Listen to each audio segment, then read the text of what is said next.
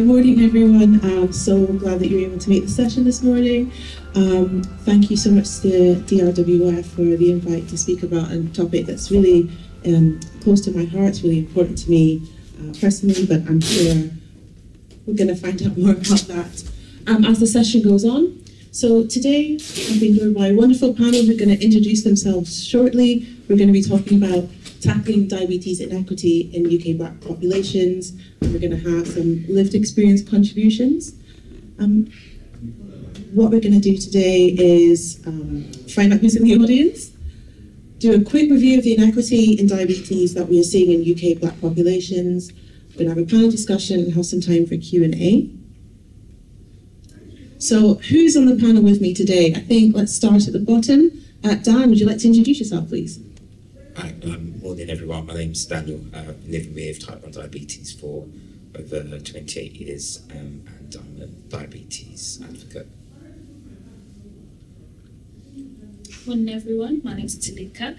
I've been living with diabetes for almost four years now and I'm a diabetes advocate. Good morning everyone, my name's Amelia. Um, I've had type 1 for 26 years now and um, I'm diabetes advocate. Morning, my name is Barbara Hudson. I'm a diabetes specialist nurse based in Birmingham and I've worked in diabetes now for about 28 years. And I'm Bernadette De La Catrax. I'm actually a pharmacist by profession, but I'm the Executive Director of Diabetes Africa. Uh, we're a non-profit organisation and our whole mission is to reduce diabetes inequalities uh, for people of Black heritage. And we also have projects in Africa and starting in the Caribbean. But um, obviously my focus at the moment is um, tackling inequalities in Black populations related to diabetes in the UK. So, quick show of hands. I recognise quite a few of the faces, but um, I'm wondering who in the audience is a healthcare professional? Person living with diabetes? Uh, researchers or other? so I'm um, covering both, which is brilliant. Right, so the reason I'm going to start with this slide is sometimes we um, get feedback that people don't believe there is inequity in diabetes outcomes for black populations in the UK. So I wanted to uh, make the case for three specific areas where we are seeing inequity, and that's access to diabetes technology, um, being well prepared for pregnancy, I'll share what that is shortly, and also chronic kidney disease in people living with diabetes. So the first one is um, black children and young people in, in England or Wales have less access to diabetes technology. And as you can see from the graph on the bottom left, that's continuous glucose monitoring, and the next uh, bar chart is um, uh, insulin pumps. And the white bar is white children and young people, orange bar is black children and young people. And you can see in both cases, for CGM and pump, that black children and young people have less access. And the chart on the right hand side is showing the difference between black children and white uh, children. And over time, from 2020 to 2023, the gap between those two groups is actually getting wider.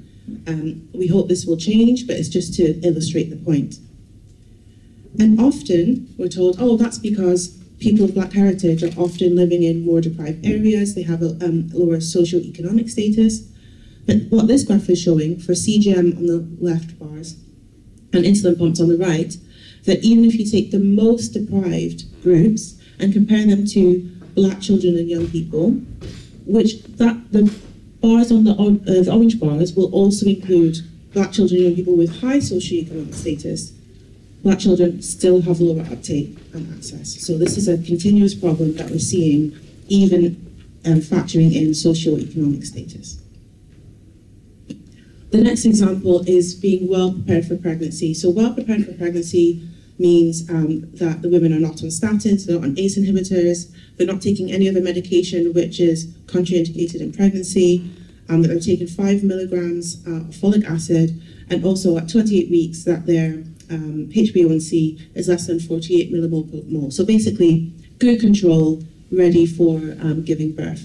And that has positive outcomes for mum and baby. So the graph is a little small, but what you can see here is this is Asian, black, mixed, not stated other, and non and white. So we're comparing uh, white women, the last bar chart, and the second line is uh, black women. We see that that criteria well prepared for pregnancy. Fewer black women are well prepared for pregnancy, and we know that has poor outcomes for uh, mum and baby moving forward. And the final example I'm going to give is this is for at risk of renal replacement therapy, so things like um, dialysis, hemodialysis, peritoneal dialysis. And um, the orange lines are black men and uh, white men and women with type 1 diabetes on the left and type 2 diabetes on the right. And the blue and grey lines are black men and women with type 1 and type 2 diabetes. And you can see in both graphs that the, the risk of needing renal replacement therapy is significantly higher if you're of black ethnicity. So there's something, there are things that we need to do, and there are examples of inequity that, um, that we're seeing. And so I wanted to, with that as the foundation, move into the panel discussion and I guess ask three questions of our people with lived experience and also Barbara, um, diabetes specialist nurse. Um, in your view, what's the biggest cause of the inequities that we're seeing? And it doesn't need to be from these examples, it can be from other areas. Um, how does that link with your personal experiences? And what can be done to improve the situation? Um, I'm going to go in the same order again. Dan, can you kick us off, please? Do you want to start the first or through? As you wish. Um, can you just repeat? so, okay, just one. We'll do one at a time. We'll do one at a time. So, in your view, what's the biggest cause of the inequities we see? And it doesn't need to be these, it can be others. Um, so, for me, I think the biggest cause is having access to, well, firstly, access to information and knowing what you're entitled to, and then getting what you're what you're entitled to. Um, so I think for me, I'm, I'm very fortunate. So um, I started working at a type 1 diabetes medical research charity in 2013. And when I was there, that really opened my eyes to what's available, how to actually navigate the healthcare system, and have the confidence to challenge healthcare professionals if I'm told no, it's okay to challenge, and then how I do that. And had I not been there, I wouldn't have known that and I would have just been relying upon my healthcare professional telling me what I can and what I can't have, and not have the confidence to challenge or to find out what I'm entitled to. And I think that's one of the dynamics that takes place in the consultation, particularly, and I think within the our, our community, is that for me anyway, growing up, was always thought you must respect the healthcare professional or the doctor and take what the doctor's saying as truth and don't challenge. I think if you still have that belief and you go into those consultations, then you just take what they're saying, but you don't know that you can challenge and then get what you're entitled to. So I think that's one of the reasons for for me. Um, I would definitely second that. I'd say it's the information that you're given, the lack of access to different things. So I I was diagnosed during the pandemic, so I've had consultations where that's been used as, as an excuse as to why I've not been um, seen that much or why I've not been given certain information. Oh, it was during COVID, so that's why. Which a lot of the time throughout the last few years, it's just I've been left in a state of limbo. I don't know what's going on, or I'm not too sure why, but I'm not able to challenge it because I don't have access to certain information. Um, I agree with all of them. It's sometimes not knowing. Um, I'm quite stubborn. So, and if I notice someone else has got something, and I'm like, why have I not been told about this? I will question it. But then it's always told, oh, because you're not looking after it, you can't have that. Or if you look after it, you may get it. If you do something for me to help you, instead of going, okay, let's just see how this works and if it's going to help, then this is what we stick with. But it's all about what you know. When I was first diagnosed, I knew nothing. I didn't even know it existed. So it was like starting fresh. And as I've got older and had it for quite a time, I'm still learning new things. But now I know that I can go and research things before I ask, can I have it? Barbara, from your clinical experiences, anything you want to add to what's been shared so far? Um, I think the first thing I, I would add really is that um, when sometimes people say you have to treat everybody the same, I think that myth is is, not correct in, in, in my view. And it's about asking the right questions, building trust, and actually seeing what the person who's living with diabetes wants, see what their, their agenda is to begin with, and actually to um, find out what they actually know. And then once you build that relationship of trust, uh, and you can have this dialogue, then you can give them the information they need at the time that they actually need it. Um, and I, I just find that, you, you know, my first thing would be is, do you know why you've actually come to your consultation? The second thing would be is, what would you like the outcome to be and what can I help you with? So I literally use that as the foundation to move forward with that individual. And then with that, you can find out what they don't know and what they need to know and how you get there. And it's very much partnership. And I think that's kind of the best, and, and that's changed. And I will echo um, what Dan, Daniel said. He, he, he actually said, you know, um, you respect that healthcare professional that you come in, because of what my parents are the same. They literally do as they are told. And when you actually offer somebody uh, the chance to make their own decisions, they'll go, I don't know you're the healthcare professional, I've come in to see you. And it's about changing that dialogue. And the only way you change that dialogue actually is to inform them or educate them about what needs to be done and then they can make an informed decision and it, it's, it's literally it can be a very slow process you have to change people's perceptions or point of view the way they manage their care because it, it has changed in the period of time. It was you do as I do, and and I'm sorry to say that, but that's how it was. This is what you've got. This is what you need to do, and I've evolved my practice to go the other way and to find out what do you want and what we can do. And there's a difference, I think. Thanks, Barbara. And Dan, you've mentioned a, a, a, key point that I think might be worth discussing. Um, part of my upbringing, my, my heritage is Nigerian. Um, respect was a huge part of, um, I guess, the culture. And you had to respect your elders, your aunties and uncles.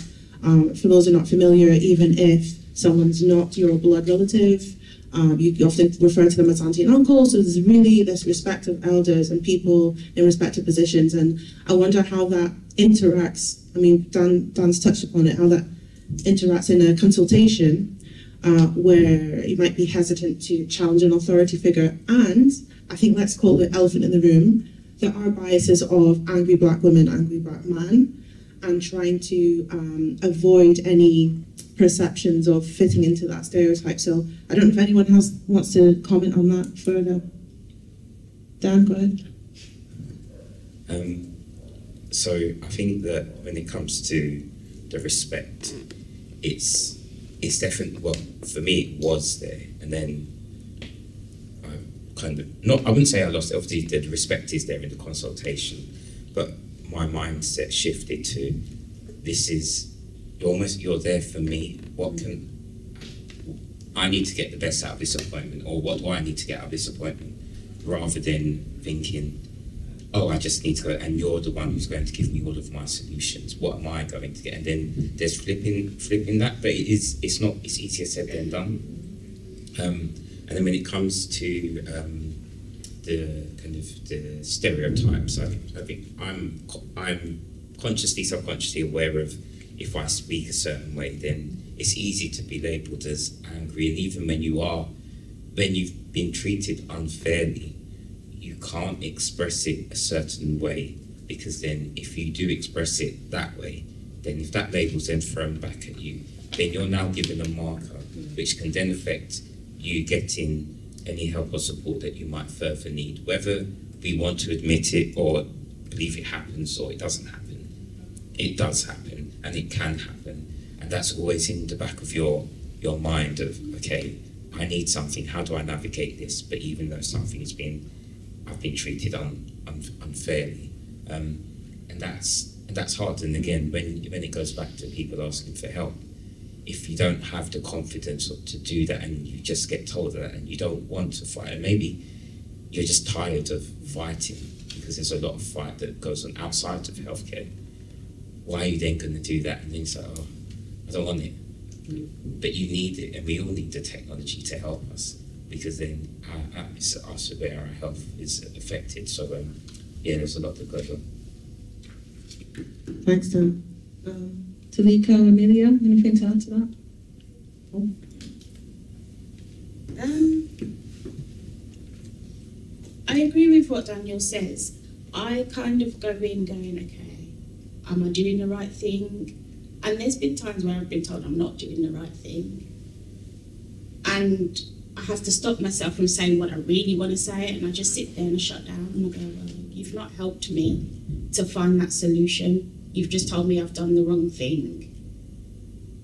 And that's that.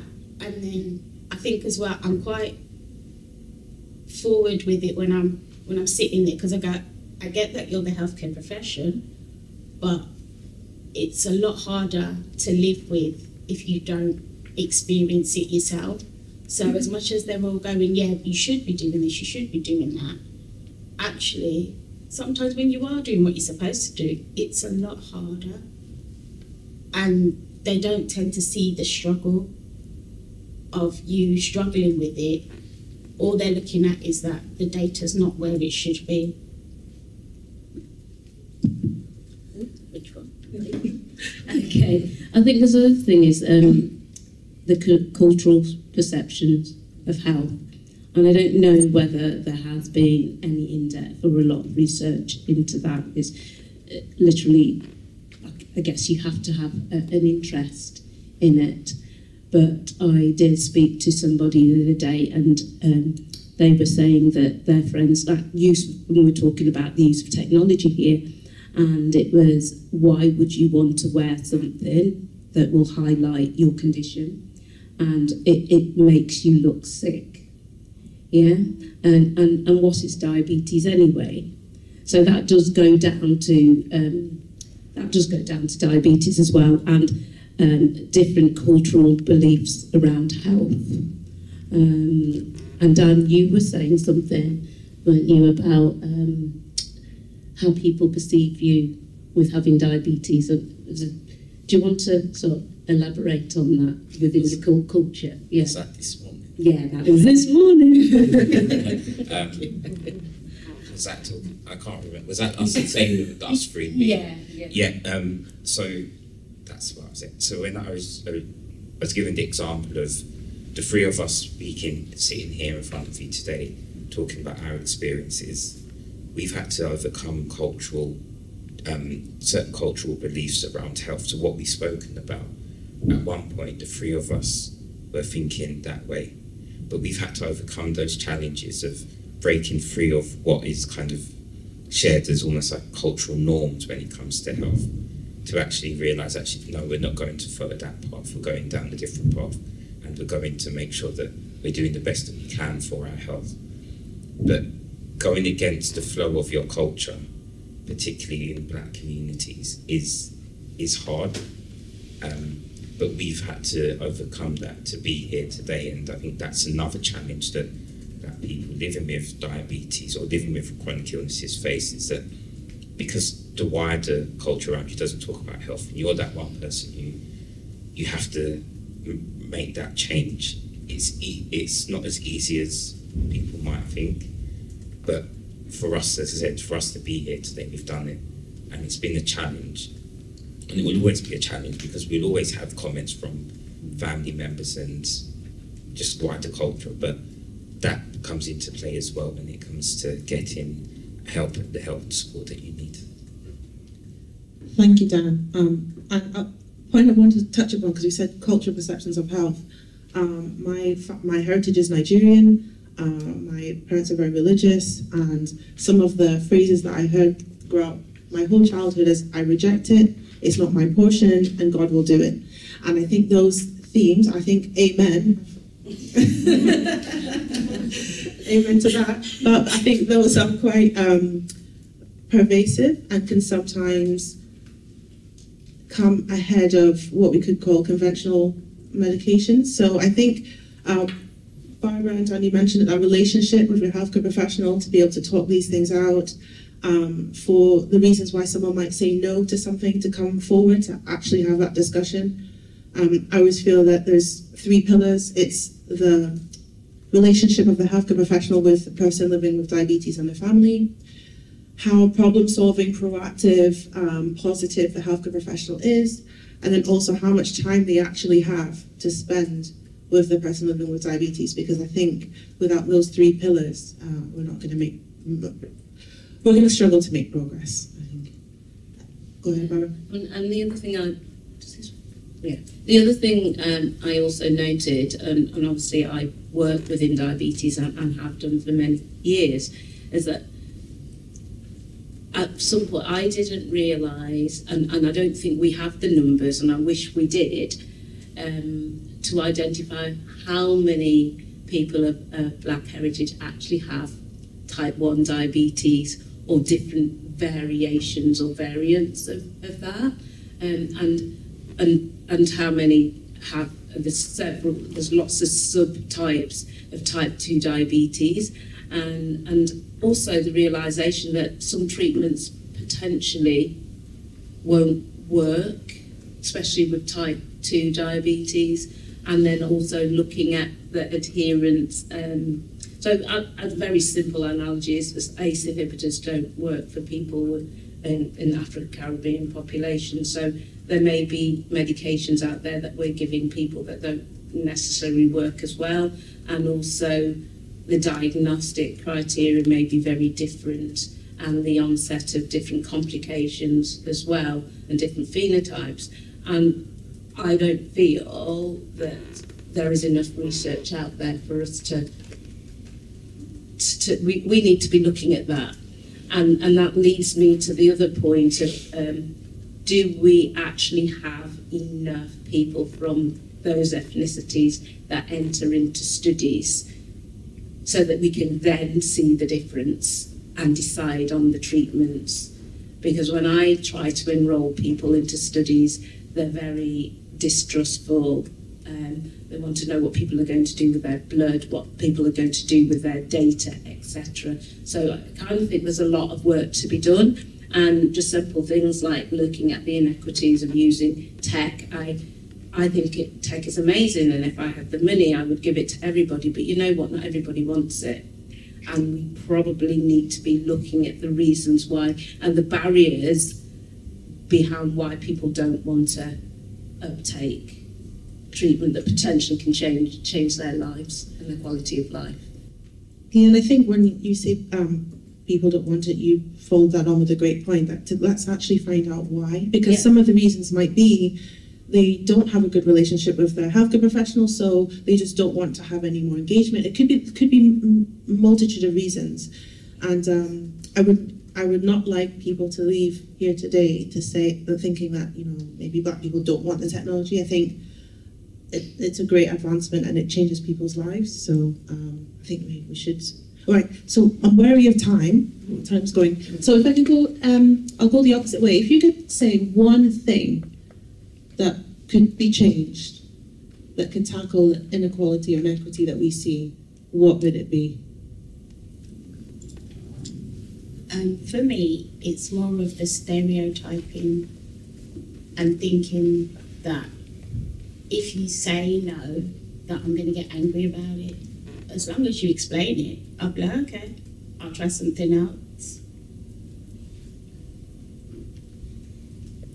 Um, for me, I'd stick with the access to information, or more so the education behind it, because for myself, I don't feel like I know much more than the day I was diagnosed about this disease that I'm living with, as well as the people around me as well as that relationship with healthcare professionals that we spoke about. Like, I it's only now I'm starting to sort of advocate for myself and speak up for myself and question, well, why is this or what are the options? A lot of the time, the options are not given. It's just you're given this option, that's it. And I've had times where it's like I've said this doesn't agree with me, this makes me feel unwell, and my healthcare professional's telling me, oh, that doesn't make sense.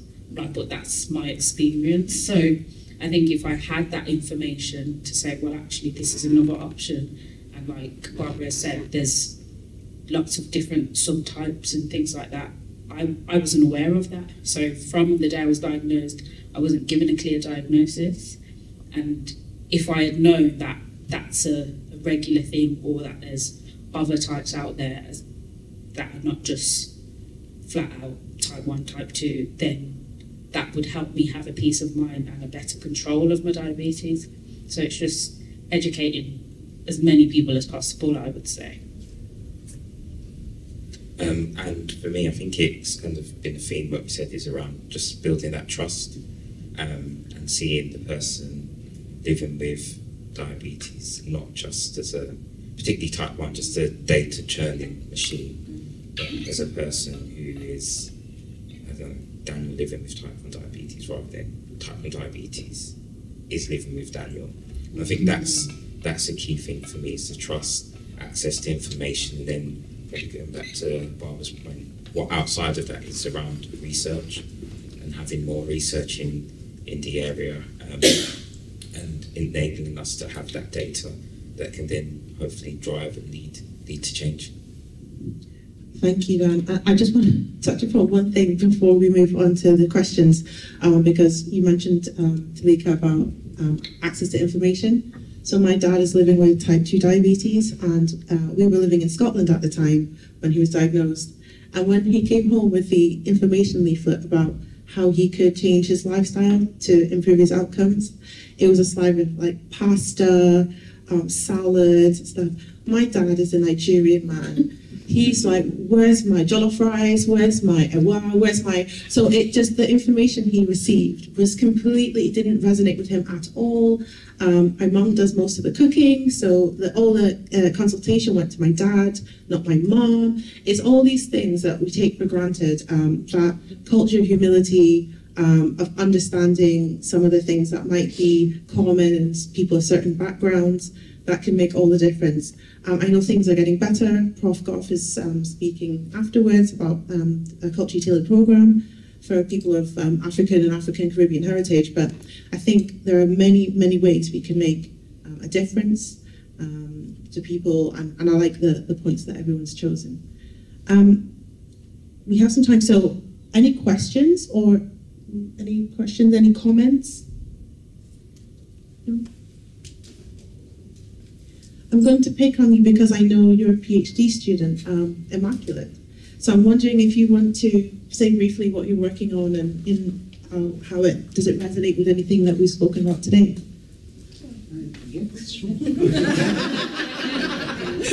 Thank you very much. Well, I've actually um, got some slides from Immaculate, which I'm going to be presenting in the next session in the okay. room next door. So if anyone wants to come and hear that, you're very welcome.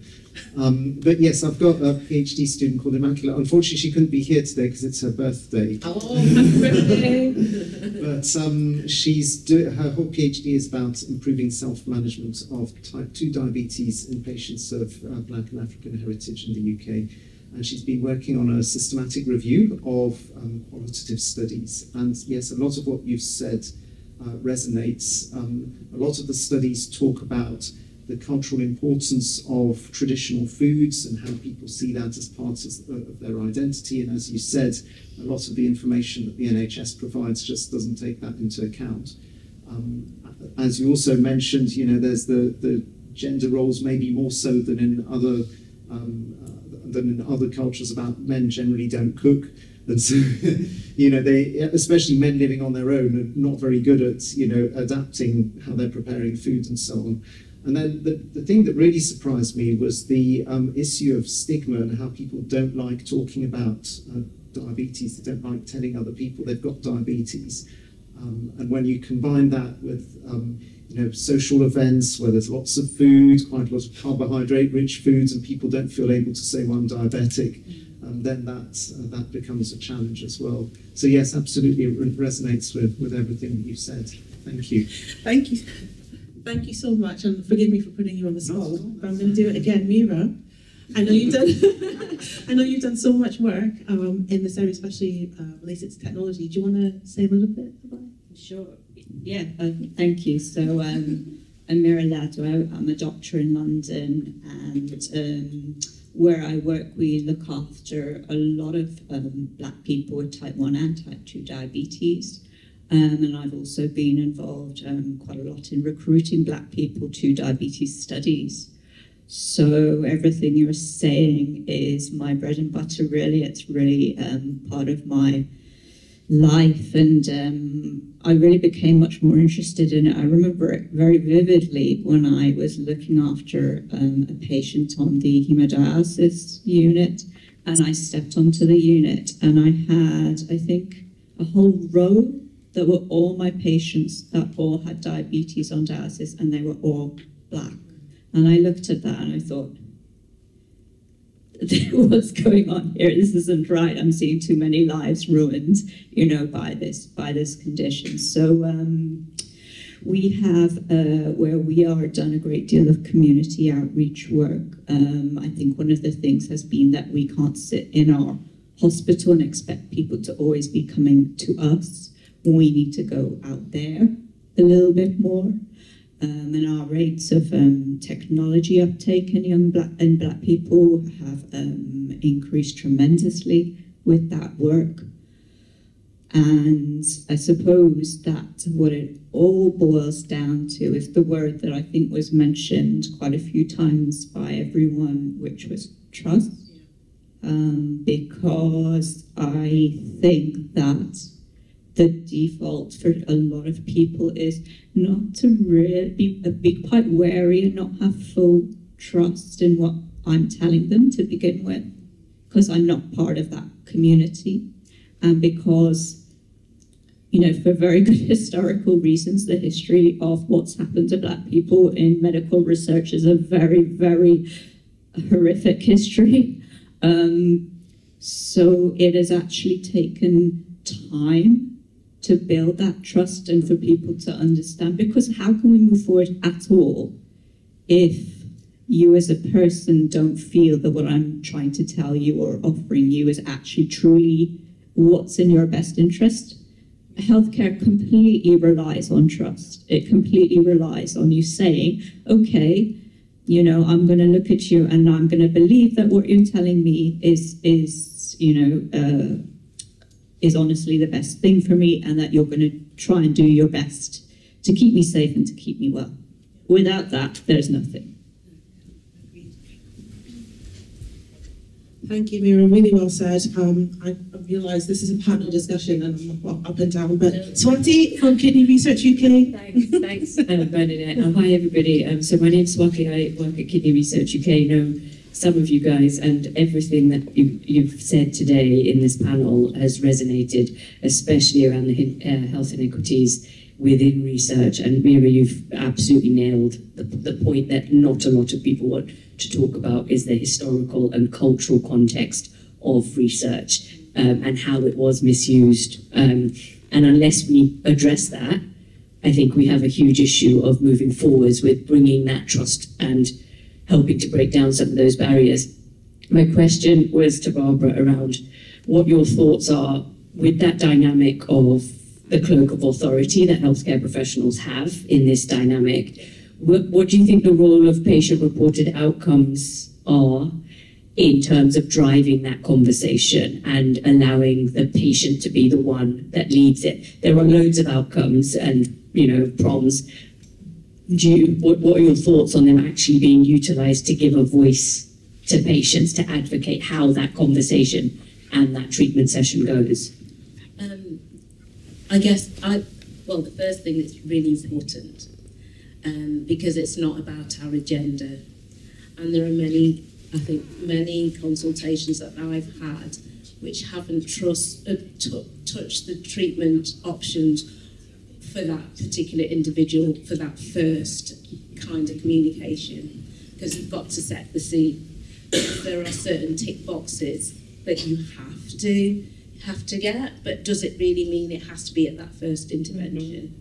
So it's, it, you can use it as a, a baseline, but it's really important that you identify what their agenda is at the very And what beginning wants and what they want. So that I think mm, that's how you need to set the scene because that can actually make a difference to your future um, relationship and actually you find that you move forward a lot quicker by doing that. I don't know whether that answered your question. No, no, yeah, absolutely. I guess the challenge is, like you said, that it doesn't become tick boxing yeah, exactly. of like the patient's done the prompts, um, the voice, the voice projects. Um, Yeah. That they've done the PROMs, but it just gets put to one side because and I've got to look at your HbA1c Yeah, and all your yeah. bloods and So, so you're aware else. of all of that anyway, Yeah. and, and you are discussing the importance. But I think it's as, as they've all said, it's why are you asking me those questions? You need to actually say, this is why we do X, Y, and Z, and and this is why we would like it to be better. Where would you? What would be your first goal? And you know that perhaps in time we're going to move that down because we're actually doing that for a reason yeah. and, and usually they don't know the reason behind it first, or they or you actually use it as Dan was saying, they use it as a as they weaponize that information against you. If you Mm. don't get this, you're going to get that. Yeah. And it's to stop using that, as turn that around Round. to inform them first. Before we go to an, another question or comment from the audience, um, Dan, Talika, Amelia, do you want to comment on that interesting discussion about, you know, how the relationship is framed by the healthcare professional? Talika, do you want, yeah, go. Yeah. Um, in my experience, it definitely does. Like, I've had appointments, consultations where I've left feeling absolutely deflated. And I've also had ones where I felt better. I felt like, okay, I've come here, this has helped. Um, personally, having Barbara as a healthcare professional is amazing. I feel as though she treats me like a person, she speaks to me like a person. She'll ask me my experience, how it relates. She'll tell me what I need to do, what what to plan to do, but then she will relate it to my actual life. Whereas I've had appointments where it's just like, this is what you need to do. Um, keep taking your medication, do this, this, this, and I'm like, but it's not working. Yeah, well, you just need to do that, and that makes a massive difference to how you move forward. Um, yeah, my current situation, I feel as though I was basically traumatized, and that's by a healthcare professional. So it's just not having that trust to this day. That's it's put me off a lot. It's changed my perspective of okay, I can't trust everyone. I need to know why I'm doing this. I need to know what I'm putting in my body, and as well as what you have mentioned, that cultural element, it makes a big difference because I was raised in a Caribbean religious household, so you have that respect your elders, respect your professionals, you have that um we don't do medication and all of that. So it's hard finding that balance of, well, I don't want to put this stuff in my body, but it's, it's helping me survive. So when you've got somebody there that's explaining to you, well, this is going to help you with this, or this is what this is. Um, I know you might not want to, but it will help. That makes a massive difference. That's that's been my lived experience. So having having someone there that you can trust and that will explain things to you as you, not as a number or data, that makes yeah, that make, makes it more bearable. We'll go to Dan and then is um, just a really kind of quick point. And so earlier, and I, and I think that perhaps when it comes to the diabetes area of healthcare, there's opportunity to, learn, from my experience, opportunity to learn from other areas. So earlier this year, I had a family bereavement. I lost somebody really close to me. Um, I had a shared, so I had a kidney transplant in 2018. Um, and when I had my first consultation with my diabetes consultant after the family bereavement, uh, I was told that I wasn't doing well when it came to my levels and my management. Um, and then further on in the consultation, the my consultant read the letter from my kidney team, and it said Daniel has experienced a family bereavement, and at that point the whole conversation changed, and there was an understanding of oh he's gone through something, and what, why I say that is in comparison to my kidney team when I met them and I told them that I'd gone through this family bereavement, their response was, "How can we help you? How can we how can we support you? We know that I said that I haven't been taking my medication as I should. That how can we help you? How can we support you?" And that example of my kidney team, they had built the trust over a number of months, a number of years, and they've not just seen me as a number; they've seen me as a, a person. And I think that that's where diabetes, the diabetes part, some not all, but some teams can learn from other departments of just actually just seeing you as a person. Um, and sometimes I think when the word diabetes comes into play, people automatically think data, number, HbA1c, HbA1c needs to be there. H, and an example is just when I've had appointments with ophthalmologists and they've asked me what my HbA1c is and told me, somebody said, oh, that will tell me everything I need to know. Mm. And little comments like that, it doesn't at all. Um, so yeah, it's really an opportunity to learn from others.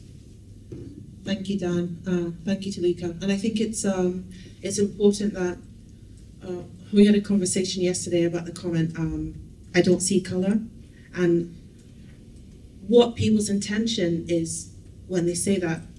You could say is positive. They're trying to say maybe they're trying to say in some cases, "I see that you are of a different ethnicity to me, and that doesn't matter to me. I still, you know, I still value." You, but it can also mean I completely disregard any experience that you have as a result of your ethnicity or looking different. And I think that um, as a black person, I say I, can say uh, I'm going to generalize. I'm going to say as a black person, in every interaction, especially in the UK, when you're a minority ethnic population in a country, in every interaction you have to think is how much of this is because I'm black. And I think that that's a burden to carry. Um, I'm not living with diabetes, but imagine living with a long-term chronic condition, many people living with many, carrying that into every interaction, into every discussion, into everything is a, is a lot. But I'd like to, to go to the audience again. I know if you bear me some extra time, because I know we've, we've got the break, um, okay. go ahead. Thank you so much for giving me this uh, opportunity to talk. Sorry I came in late. Uh, I want to acknowledge the speakers. They've done very well because everything they've said is actually what is happening in our community. But my worry here is about the emotional well-being of these people living with diabetes because uh, uh, we have a charity in Wolverhampton called the Global Diabetes Initiative and we support a lot of people from the ethnic minority and emotional well-being is a big issue and the GPs are causing some of these issues because there are so many things they tell them. They go back home, they get so worried about everything that they've been told. If you, if I come and I have diabetes and you are my GP, you say go and eat healthy. What is the definition for an African person who has never been to school to understand what is eating healthy. You've already given them that mental talk to go and stay home and start thinking what to do. So education, education is the key. Let us look at the emotional well-being because our people are suffering and we have to go out there and educate them. Uh, another point I just want to highlight, I came in here and unfortunately a lot of people within our community, I'm not sure if they know about this or they didn't just want to come. Look at, there are lots of information here today for our community and they are not here. And I uh, want to say that you coordinating this panel, take that to the team so that next time they could invite quite a lot of people that are affected by this or reach out to other organizations that they are helping people with diabetes so we can arrange and bring some of them here. Thank you. Let's let's work to, let's work together, let's partner. Um, we come to see me at the stand later and we can we can discuss further. But um, I think thank you for your contribution, for everyone's contributions. Um, a wonderful session. We could go on, but I know we're, we're getting signals at the back that we need to round up. Uh, thank you so much, uh, Daniel, Talika, Amelia, Barbara. Uh, thank you everyone in the audience. Thank you DRWF for the invitation to come speak about this topic. Um, you can come and see us at the stand and um, contact us on our socials if you want to continue the conversation. But thank you so much.